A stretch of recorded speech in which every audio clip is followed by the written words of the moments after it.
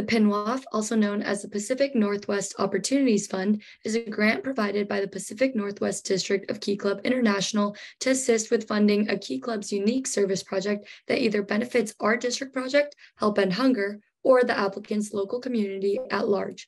All dues paid clubs are eligible to apply for this grant. The grant amount ranges from $100 to $1,000 and can cover up to two thirds of the anticipated cost of the project. The PNWOF application opened on September 1st, 2022, and it will close on October 31st, 2022. All grant applicants will be notified in mid November whether their submission has been approved or denied. The 2022 to 2023 winners will be officially announced to our district at DCON 2023. If your club would like to hold a high impact service project but is lacking in funds, this is a great opportunity to aid in carrying out your project. It's not too late to get in touch with your club's officer board and advisors to begin planning out the service project you would like to create and starting the application process.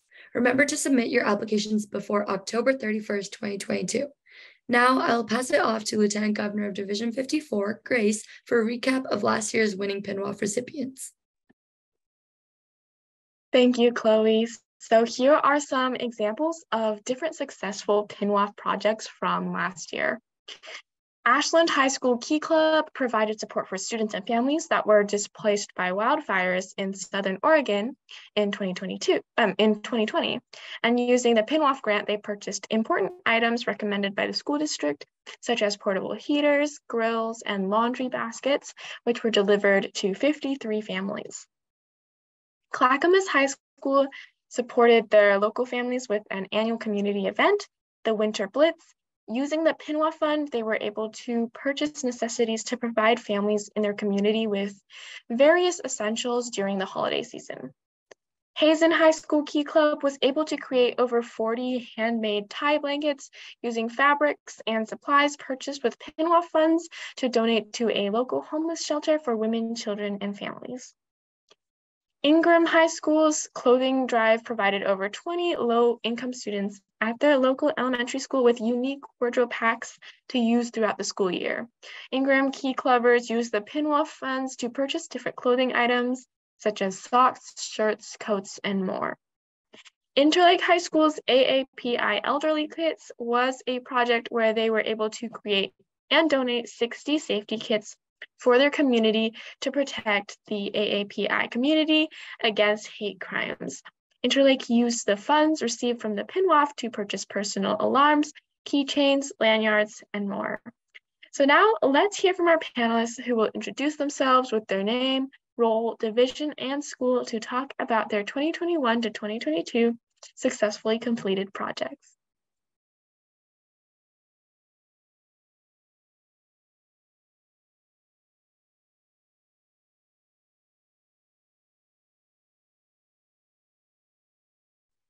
Jeannie, I think you're muted.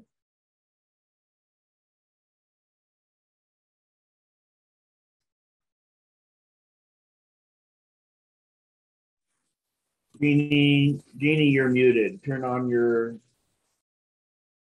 Okay. Okay. Is that better? Yeah. Hi, I'm Jeannie Welcher. I am a area administrator for Division 82 in Southern Oregon and Northern California. And I am a Kiwanis advisor to the Ashland High School. And our project uh, was basically to provide needed things for the uh, fire victims uh, of the 2020 huge fire that encompassed encompassed all the Southern Oregon schools. So that was kind of, we did it in two years. We went for the first year in 2020 and then for the second year in 2021. And we, of course, purchased different things for the different time factors. And uh, it turned out to be an extremely successful project for the Key Clubbers. They just loved every minute of that project.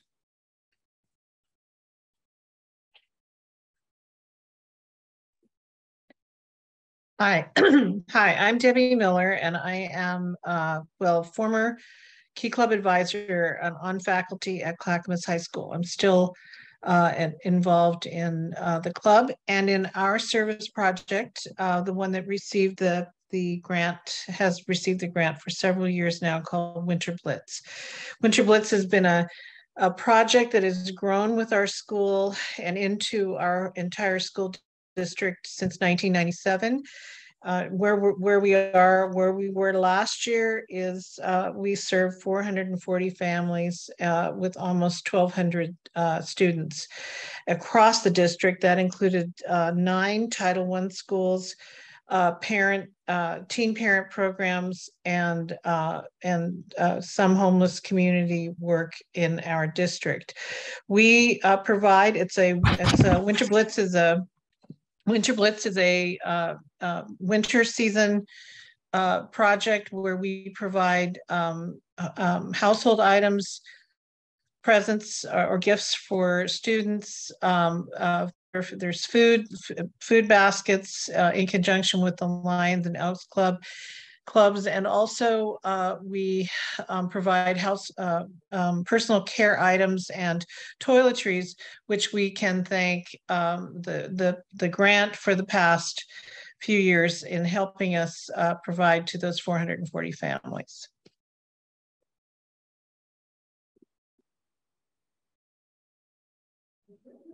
Awesome. Hi, everyone. My name is Juan Nguyen. Uh, I went to Hazen High School last year, um, and I was the immediate past president there. Uh, right now, I am a freshman at UW Seattle studying computer engineering, so that's super fun.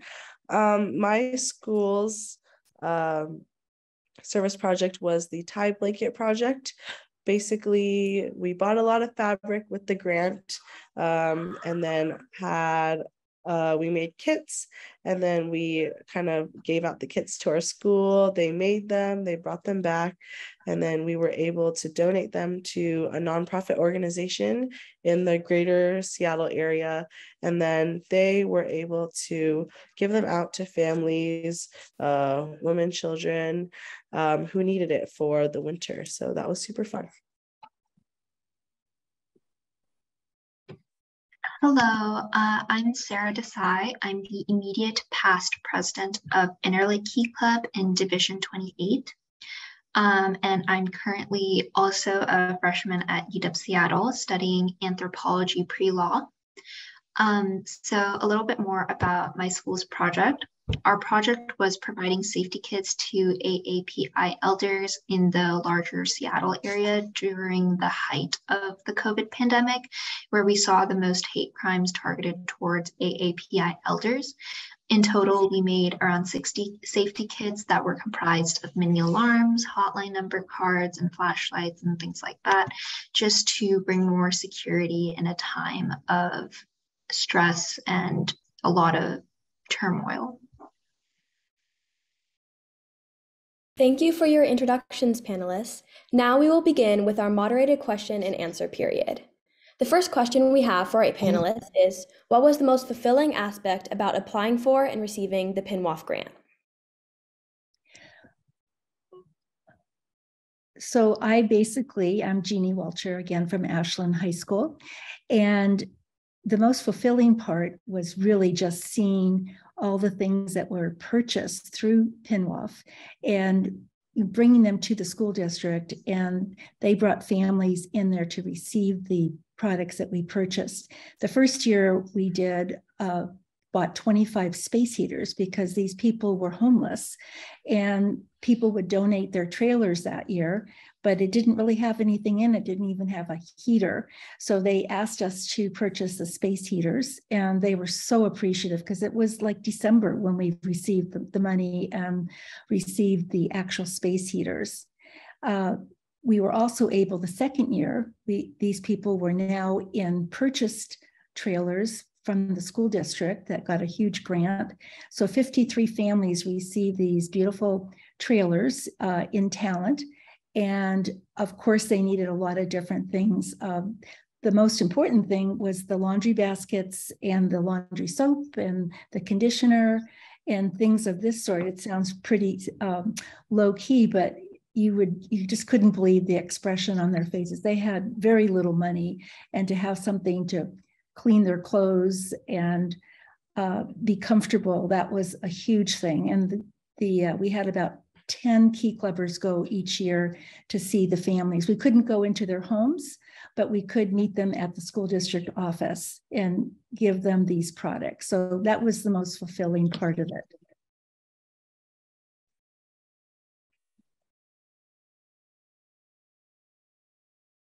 Uh, Debbie, I think you're muted. There. I think I think that's it. Um, I I'm not used to Zoom, Google Meet. Sorry, everybody.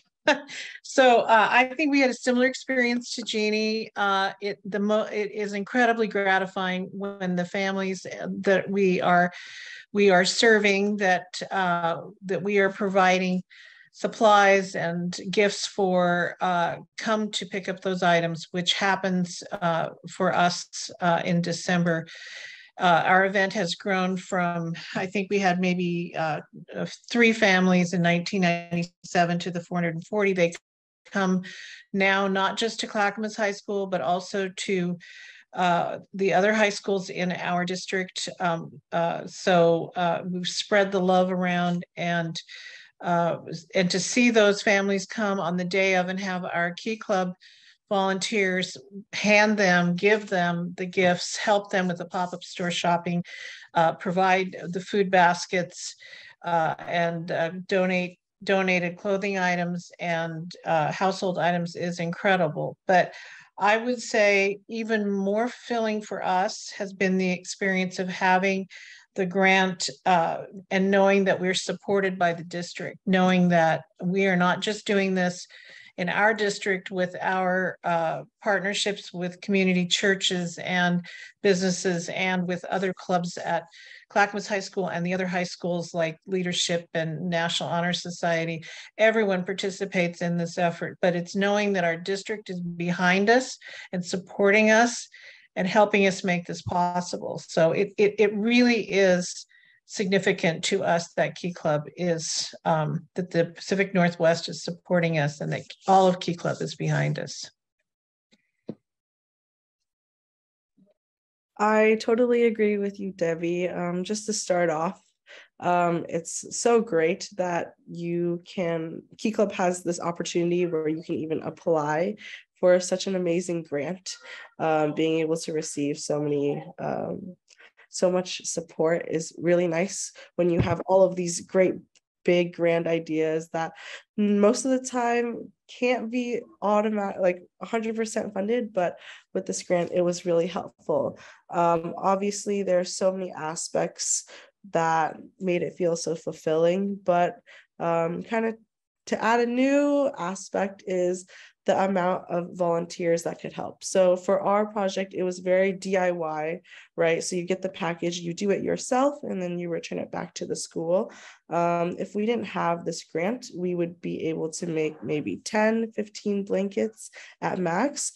But with so much demand and so much want to be able to do your service and to help your community, it was really nice to see so many people um, have that want to help, have that want to serve their community. And it was nice being able to um, kind of provide enough materials and enough um, service projects where it could be fulfilled for not only our club, but maybe other people around the school who aren't in Key Club who also want to participate in our service projects as well.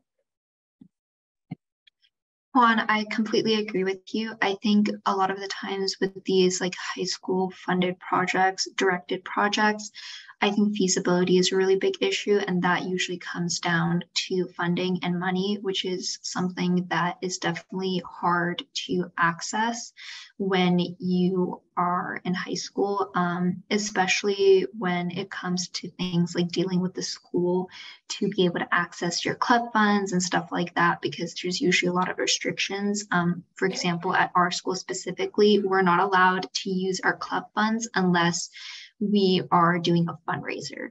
So a lot of these events that involve like donation drives and things are completely infeasible without the aid of things like the PNWOF.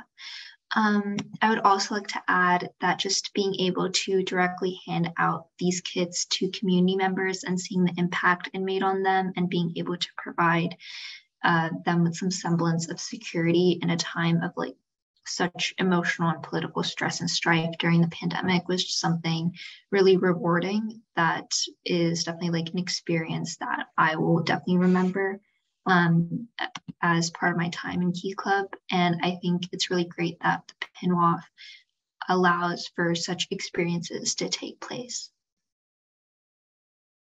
Thank you for those eloquent responses. Uh, moving on to the second question How did receiving the PNWOF grant benefit your club or community?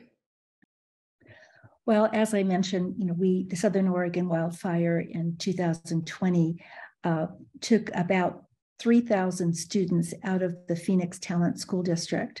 And the school district, of course, was overwhelmed because they expect, you know, they do get money for each student. So now they have a very limited budget for the school because of the number of, of uh, students that were affected by it.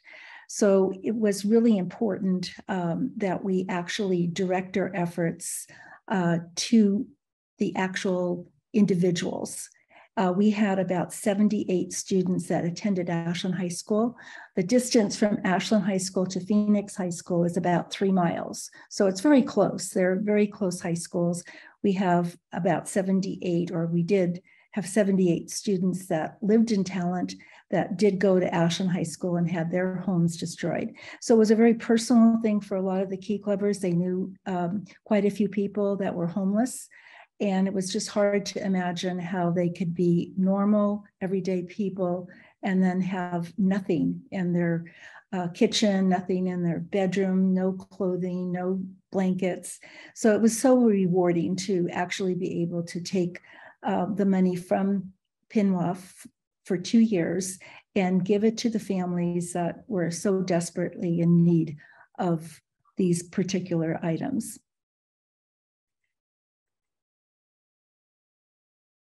And I, I think I would say the same thing for us. Um, we took the thousand dollar grant that we received in the past two years, and it all went to Amazon. We bought toiletries and personal items for Amazon. So uh, to to know that that money, 100% of that money went to buy toothpaste, toothbrushes, shampoo, deodorant, conditioner, bath soap, uh, all the items that we sort of take for granted that our folks have to make decisions every month whether they're going to feed their families or buy these cleaning products or you know to, and especially during the holiday season when they want to try to find a way to buy gifts for their children. So so it that it's powerful. It's it's a direct contribution it's a huge process to put these toiletries together and hand out 440 gift bags. and that came directly from this grant this past two years. So for us, um, it was just really nice to see that our efforts made an impact to our community so locally. And I believe um, all four of the panelists will probably feel the same way. Where you're living, you experience these things, whether it, it's you yourself or you kind of see other people going through it. It's nice to see that, hey, I was able to touch this family or this person with the service that I had. Um, homelessness is really big in Seattle, and Mary's Place, the nonprofit that we donated to, is also pretty popular. So a lot of the students already had heard about it and they already know what good the nonprofit did. Um, so it was really nice being able to help our community, even though we didn't know who the blankets directly went to. It was a good feeling knowing that what you did will help your community, not just this year, but maybe in future years to come as well. Um, for us specifically, our school, like I talked about before a bit, we are not allowed to use any of our club funds unless we're using them to specifically do a fundraiser. So the PNWOF really allowed us to pursue all of our non-fundraiser related projects that we were passionate about and really tackle an issue that we saw was really pervasive in our community, but we had no way to address. So the PNWOF really made it feasible for us to bring about this change um, in our community, which we really appreciated. Okay, and moving on to the third question. What were some obst- obstacles you faced when planning the project and how did you overcome them? Well, for the uh, Southern Oregon wildfire, uh, it was so important to figure out who we should talk to and find out what does the school district want and we narrowed it down to the superintendent of Phoenix Talent school district and the person that was the board chair of the uh, school and those two people were instrumental in helping us define what exactly we needed to get and that was kind of a huge obstacle to overcome was just actually doing the right thing, went to the right people, got the information, and we were able to go forward. Uh, we had um, about, I'm just trying to thousand dollars for each year. And we had to do, of course, uh, another fundraiser because they only give you two thirds of what you ask for. So the logical thing for us was a car wash. Uh, we can make fairly quick money with a car wash at Les Schwab in Ashland.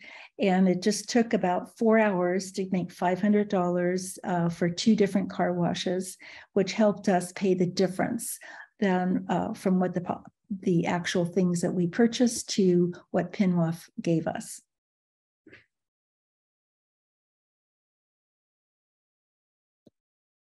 Okay, uh, well, there, there are multiple obstacles and challenges every year for us.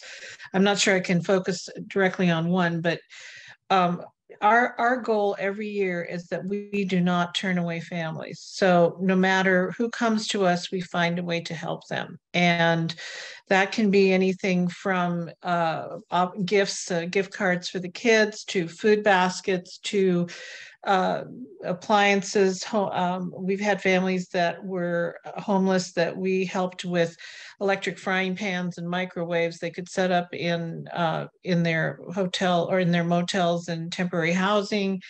Uh, clothing, of course, is a big thing uh, as well. Winter clothing uh, and and vacuums. It depends on what what we need. So uh, sourcing those things, paying for those things uh, we, the toiletries, of course, and personal items we take care of uh, thanks to the grant, but uh, we also have to do a ton of fundraising. We fundraise all year long. Um, we we write grants, we get grants, we form partnerships with businesses. We have credit unions that pay for T-shirts that we sell to help us. Uh, but it's it's an ongoing process. We're reaching out 12 months out of the year, um, asking for support and um, and and just and then doing all kinds of fundraising which i know we're going to talk about later uh, things that we do to raise funds. So i think that's important and then communication for us is huge.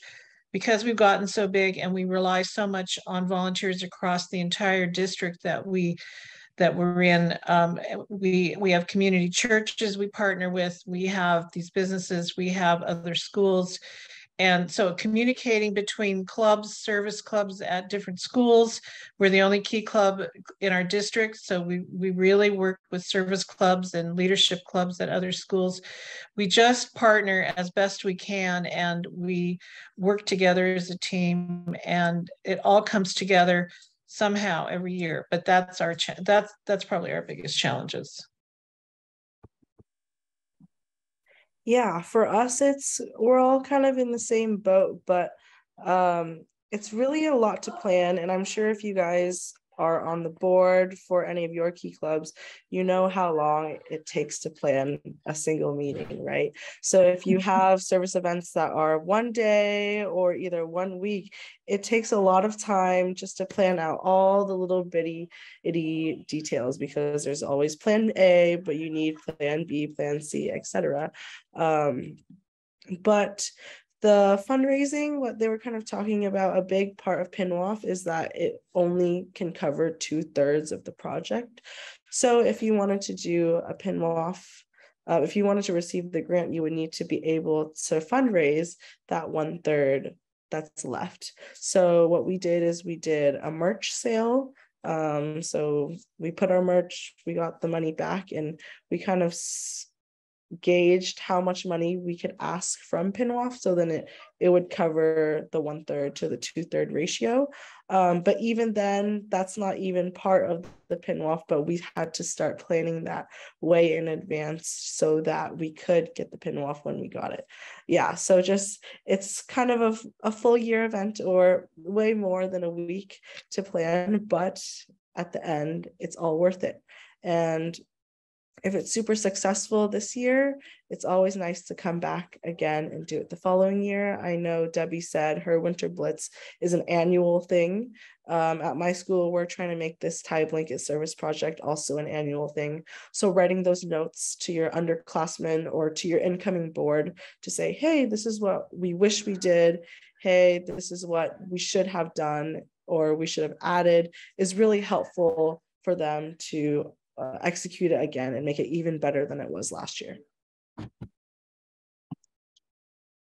Um, going back to what Debbie said, I think communication is definitely like one of the biggest obstacles for us specifically. It was more in the vein of delegating tasks and checking in. So most of the people um, on our board and on our project committee are like seniors or juniors. So we were all like very busy.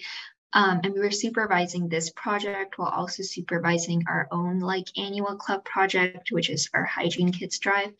Um, so it was a bit harder to like keep in check with everyone and have everyone's tasks organized and everything like that. Um, I think what we would have done differently probably next time is maybe like have set times to like check in with each other. Um, so we don't get like bogged down and spend just like weeks on certain tasks and just more streamline the process. So I would definitely say having set times to check in with different parts of the group and delegating tasks effectively is really essential to running a good project. Okay, uh, thank you for all those responses. I will pass it on to LTG of Division 28, Matran, to finish asking our moderated questions to our panelists. Thank you, Tolly. So our following question is, how were you able to promote and fundraise for the project? So for us, uh, of course, we had our Key Club that we were the only individuals in the school that was that were doing this project. Uh, we didn't couldn't rely on anybody else but our club. We had about 35 members uh, over the last two years, so it was a matter of really defining each person in the club what they were going to do to make this project happen. And we had a committee that would talk to the superintendent, talk to the board chair. Uh, then we had, you know, going through the actual purchase of these things. You had to purchase it and you had to get the best bid. So we had another committee for that. So the committees were extremely important to pull this off. Uh, we didn't really have anyone else to rely on, but but the Key Club itself. So when you have that kind of pressure, it's amazing how people come through for you. So I was very pleased that um, for two years in a row, the Key Club was able to focus and get the project done in a quick time. Okay, um, I would just agree with everything everyone said. And also, Sarah, I, I really appreciated how you said the delegating and the scheduling, because I think that's critical for any project and so true for us as well. I would say for us, for promotion, um, our situation is different because we know who we're giving to before we actually do the event. And it's not so much that we attract people that, that are needy, get the word out for them, as uh, we get applications that people have completed through their school counselors at all of the elementary, middle school, and high schools in the district.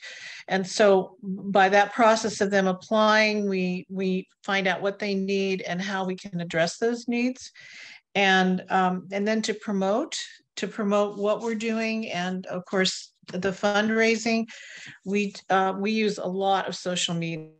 Honestly that that's the most effective way in in this day and age. I mean we we are po- we are checking we're posting on our school and uh, district wide uh, websites uh, and on all the social media accounts.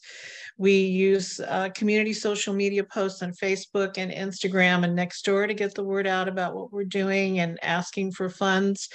We've been fortunate over the years because we've been around so long that we have local news media coverage, not every year, but most every year. We have somebody come out and film uh, protecting people's, you know, confidentially, protecting their anonymity. But they come and they film the day of the event. They see us with the kids' carnival and the pop up stores and the, the gifts uh, being uh, given to the families. And um, that media, that video on the news is, is very powerful for us for fundraising. So uh, we're lucky to have that. Um, we also have business and community partners like credit unions and and uh, Fred Meyer and some of the other um, uh, businesses here that that help us with sponsorships, uh, signage in their stores, promotion, uh, and that's invaluable to us as all as well. For fundraising we we do everything we can think of. We write as i said tons of grants and um, what we find as we write grants is that we are it, when we are finally able to convince convince folks to give us a grant, it's a lot easier to get it the following year. Once you get a grant relationship with with a company or business then it's much easier to get that renewed every year. And so that that you can't count on it, but it you don't have to jump through as many hoops. Once you get Walmart to give you some money, it's much easier the next year. So so we find we find that that has helped us. We also do everything working races like we are working a corner at the Portland Marathon uh, on Saturday, and they are paying us for that, and that money will go straight to Winter Blitz. We do car washes, we sell See's candies um, to the community. We uh, we ask our churches and the community, uh, other community non nonprofits to support us and they are generous and and we go to nonprofits as well. So we and we sell lots of t-shirts. So we're always looking to expand our fundraising but um, it, it takes some coordination and um, and and it's time consuming but it but it, it does pay off because it's visibility for for our winter blitz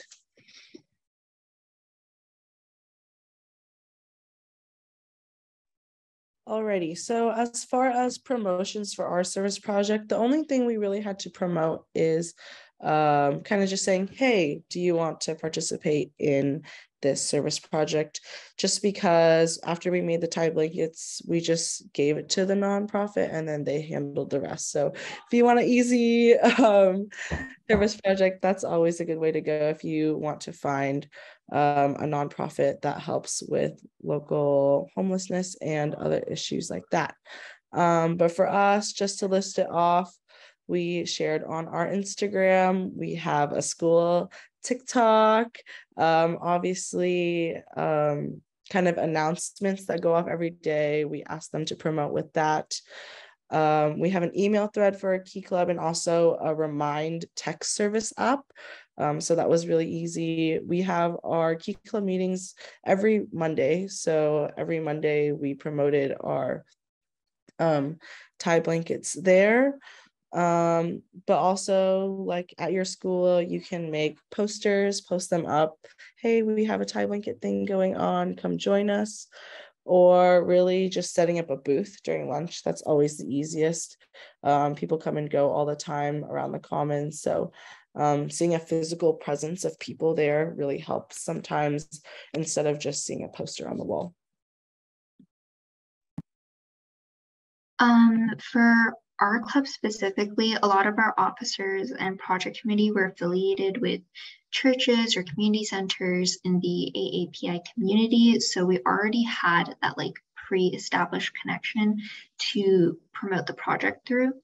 Um, for fundraising specifically, we contacted our Bellevue Kiwanis Club, um, which is just like an indispensable resource. And I would highly recommend you guys to reach out to them because they're to, they're there to help and they're kind of like the parent organization of Key Club.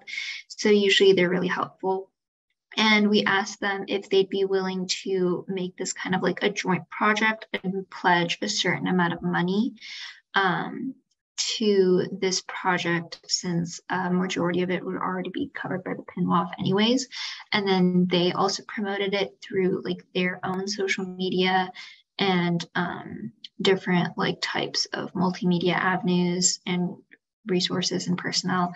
And that really helped us getting the word out there um, and also just allowed us to have that like connection between another organization that was kind of doing the same thing as thing as us. All right, thank you panelists for your answers. Our last and final question is, what advice can you give for someone going through the planning slash application process?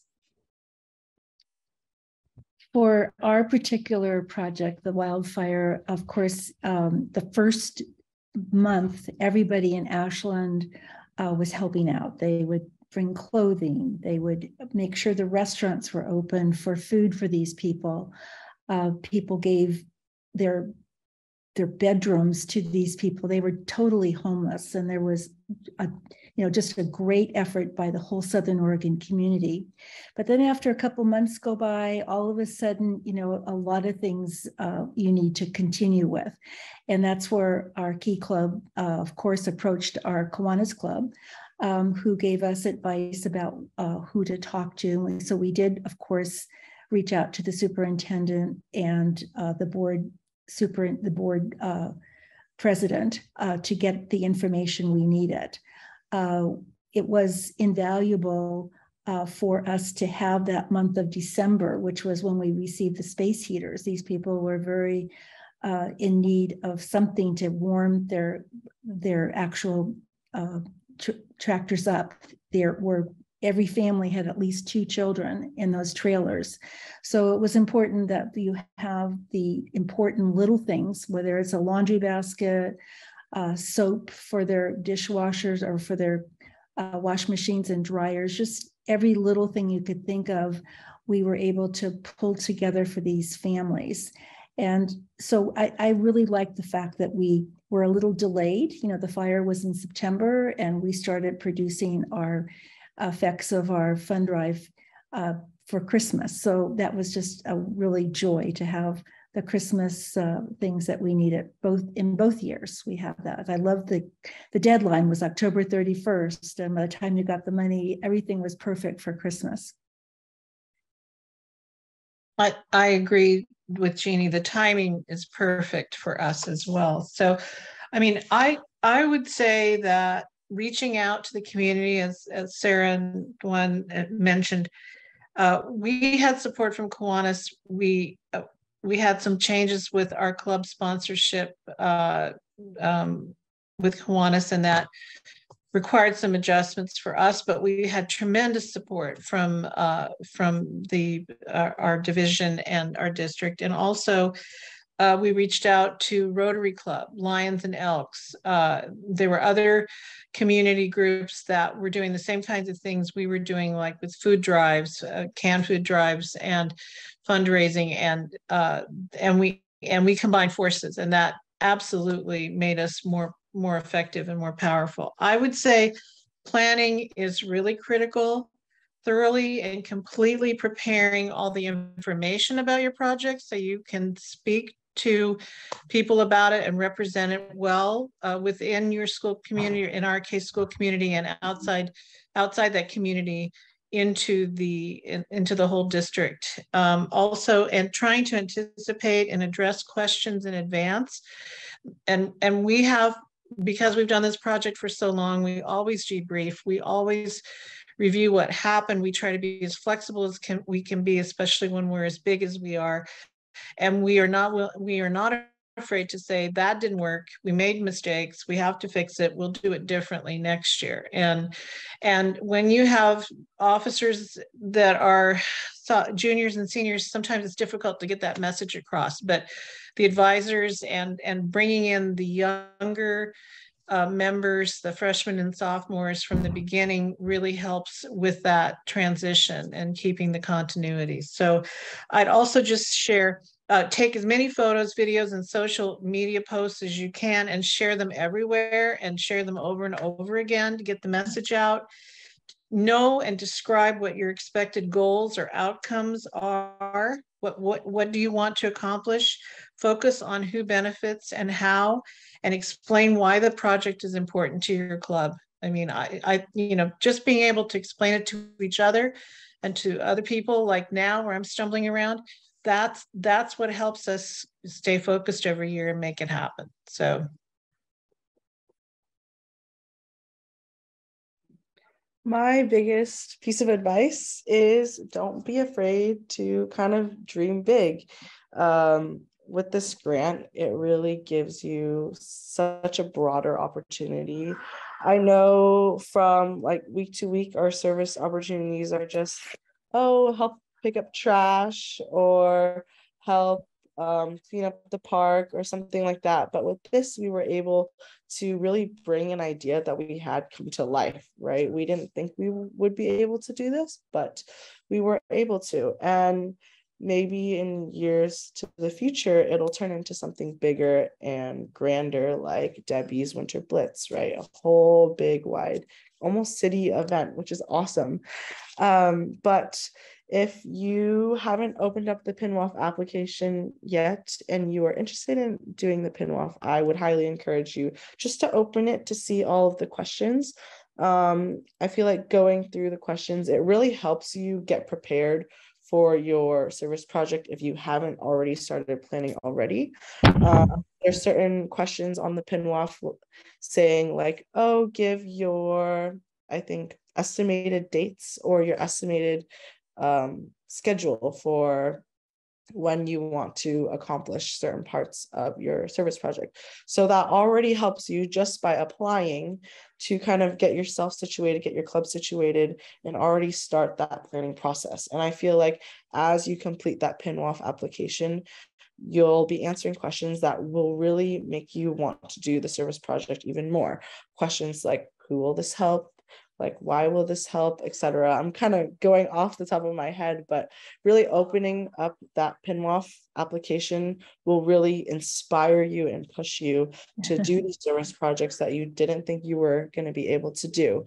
Um, one more thing um, when i was on the board um, we applied for the project twice so year one and year two let's say. We didn't get it the first year um, but what we did is we reapplied, um, kind of made our ideas a little bit better, a little bit more concise, and then we got it the following year. So don't be discouraged if, let's say, uh, oh, your upperclassman said, oh, I applied for the PNWOF, we didn't get it, don't apply this year. There's no point. There is a point, you might get it. Um, and it's always worth a shot to take a grab at this opportunity that the PNW is giving you. Um, yeah, I completely agree. I think the PNWOF application is really going to make you think more deeply about the project and not only like what you and your club can gain from the project, but also exactly how you can benefit your community and how you are going to go about uh, your project. Um, for specific advice, I think definitely set up a designated time every week to check in and do updates on tasks. Um, I think like the president of the club or just like leader of the project in general, like you should have like one or two people that are leading this project should and they should individually check in with the people they've assigned tasks to. Also i think you should strike a balance between assigning tasks to officers that are seniors and more experienced but perhaps are like a bit more busier with like college apps and classes and stuff and then younger officers and members that have more time to dedicate to the project and want more opportunities to be involved to be involved and um, have the opportunity to like lead a project or lead a specific part of a project.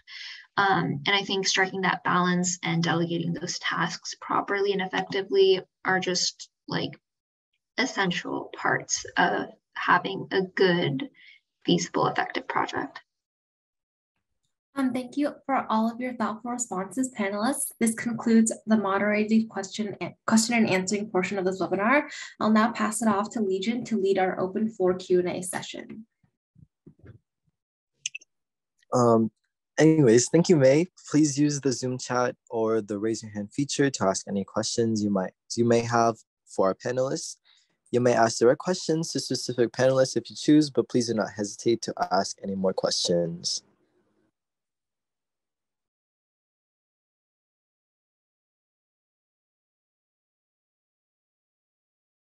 Um, okay, so we do have one person in the chat asking, well, what would you say to someone who is on the fence about applying to the PNWOF? And feel free to any of the candidates to just answer this one. Um, sorry, were you gonna say something? Okay. Um, uh, just as I said before, um, PNWOF is really there for you to grab. Obviously, there's a saying you miss 100% of the shots you don't take, right? Um, although it is kind of a lengthy application, if you just think about it, it's free money, right? Might as well. Um, uh, obviously, there are some kind of short answer, long answer parts, but I feel like with the whole board, it's really nice to do together. Um, and again, don't be scared to do it because it's really a resource that Key Club is so special for having, right? Like if you see any other service organizations that are local, they might not have this kind of grander PNW or even Key Club International backing to them. And that is a resource that we can use that we can apply to. Um, so yeah, I would just say open the application, look through the questions. Maybe if you're tired answering the questions one day, do it the next day or ask an officer to help in pitch in because honestly it's not really that hard uh, once you see all the questions. What me and my board do um, we make it a board meeting. So i share my screen. As i'm typing i ask for feedback. Oh should i add this sentence? Should i um, take out the sentence? It's kind of a cool fun board bonding as well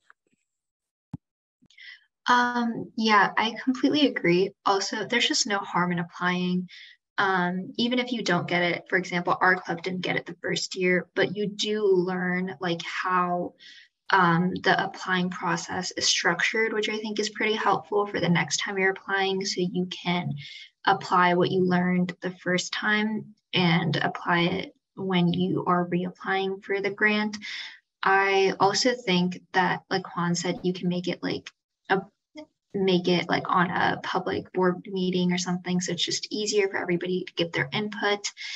And I would say also just like look around in your community and see what specific issues are affecting your community, especially more marginalized people in your community, and what specific project you can do to help them out in a way that um, in a way that is going to be like really personal and very effective to those specific people. One other thought is that uh, in the beginning of the school year, when you have your first meetings and you have an idea for the PNWOF, uh, by October 31st and you finish the application, you get the money very quickly. I mean, within two weeks, they've already told you yes or no. And it just gives you, you know, you don't have to wait six months to hear from a grant. You, they tell you immediately, so you can get excited. The, club gets excited, and and things happen uh, for that reason. And I think it's a great opportunity to get the money from a PNWOF just because they are so expedient in all their work that they do. All right, thank you. And another question we have in chat is if we do collaborate with another club, would we be able to split the funds with them or will, do we just have to keep it ourselves?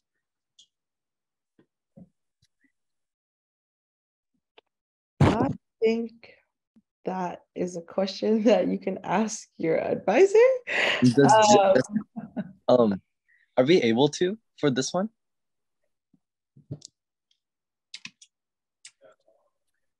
I'm a little confused because um, you're providing services or or different things, I don't think there's any money left over, uh, assuming that the project is for two clubs are doing the same project to create more uh, help. So I don't really see where there's splitting the, the money. I don't quite get the question. Oh, all right. Um, moving on. um, our la- I think our last question is gonna be who can I ask? Who can I ask if my sponsoring Kiwanis Club is unresponsive or not active due to COVID? Um, I'm just gonna piggyback backwards, sorry, um, about that question.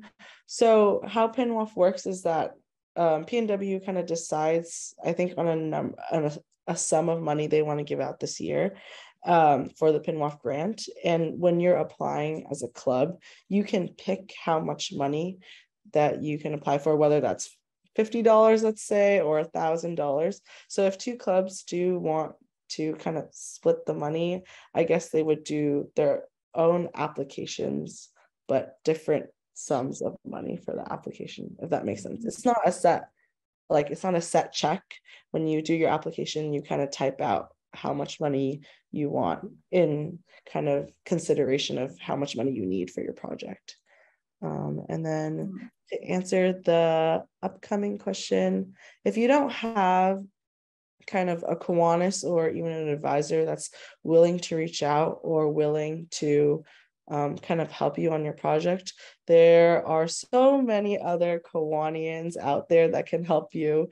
Um, and they're always so nice and they're always so willing to reach out of hand. I know my advisor is the advisor of like two like divisions that are very, very far apart, but she's still willing to reach out because a lot of this help you can receive through messenger through text through email through zoom right? Now that that is so established in our kind of internet world it's really easy to ask for help especially if you are close to another club or close to another ltg who maybe has a more um, present advisor they can always help you kind of sort through things as well Um, adding on to that, I think uh, if your Kiwanis uh, club advisors are not available, I definitely think you can reach out to other key clubs in your district and your area. Um, so you probably can't like do a joint application for the PNWAF, but I think you can do like a joint project in the way where you can like volunteer together and stuff to like assemble the project and do that.